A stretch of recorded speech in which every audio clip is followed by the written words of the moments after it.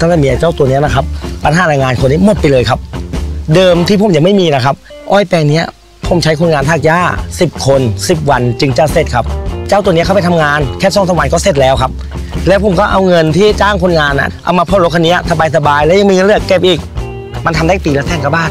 หักกันมาหักใจปีละแสนสามปีก็สามแสนเราให้ดอกด้วยให้สามปีครึ่งเลยเอาสามปีหกเดือนรุดเลยครับรถคันนี้ได้รถฟรีคันหนึงคุ้มจริง ๆ ครับลดต้นทุน ทุนเงินและทุนเวลาไปเยอะมันทำงานเร็วประหยัดด้วยความประหยัดจากเทคโนโลยี Eco PTO ใหม่ล่าสุดจากคูโบต้าที่ช่วยให้ประหยัดน้ำมันมากยิ่งขึ้น ด้วยรอบ PTO ที่เหมาะสมในการทำงาน 2 ระดับที่ 540 และ 750 รอบต่อนาที เหมาะกับการทำงานที่ต้องการความละเอียดสูง และเน้นเป็นพิเศษ โอ้ความพิเศษของไอ้เจ้าเนี่ยนะครับ พวงอะไรมันเบาเลี้ยวง่ายคล่องตัวพื้นที่แคบๆมันสะดวก มันทำงานได้ไว เพราะมันมีพวงอะไรพาวเวอร์แล้วคนขับก็ไม่ปวดแขนขับทั้งวันก็ไม่เหนื่อย ตั้งแต่มีไอ้เจ้าเนี่ยนะครับโคต้าไม่เคยขาดครับเพิ่มขึ้นเพิ่มขึ้นเพิ่มขึ้นทุกปีครับ จากที่ครั้งแรกมันสองหมื่นหกพันตัน มาสามหมื่นกว่ามาสี่หมื่นสี่มาสี่หมื่นเก้าปีนี้ห้าหมื่นห้าพันตันครับ พูดเลยยังว่าคุย คนอื่นคาดจะมากับผมเลย เจ้านี่มันเก่งห้าตัวยับยักจริง ๆ ไม่รู้จะอะไรไปเปรียบกับมันครับถ้าคนทำไรอ้อยไม่มีบีซิลีก็เหมือนคนมีปลากระป๋องแต่ไม่มีที่เปิด ยากกว่าจะได้กิน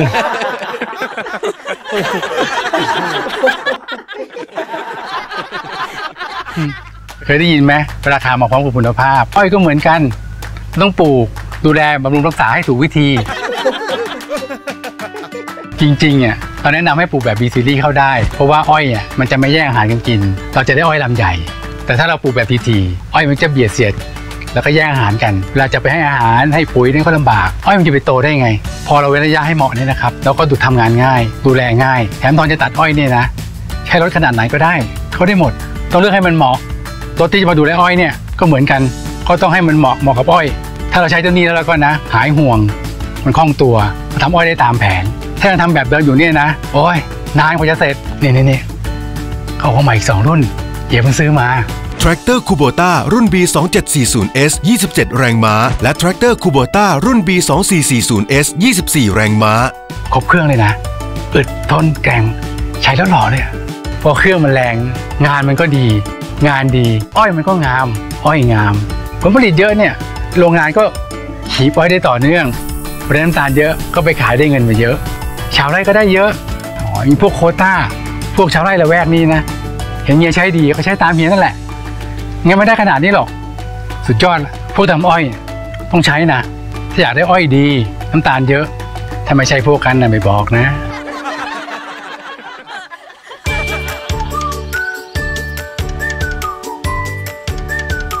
คุณรู้ไหม ความภูมิใจของพวกเราคืออะไร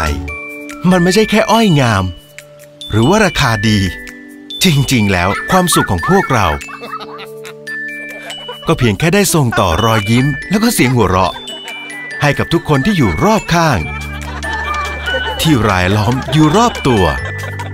ที่เป็นเหมือนครอบครัว เป็นเหมือนญาติพี่น้อง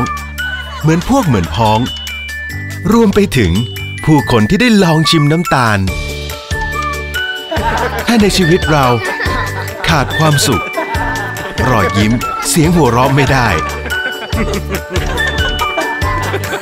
เกษตรกรชาวไร่อ้อยอย่างพวกเรา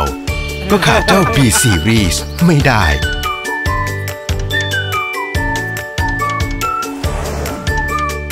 ใหม่ Tractor Kubota B Series ดูแลได้ครบทุกงานไร่อ้อย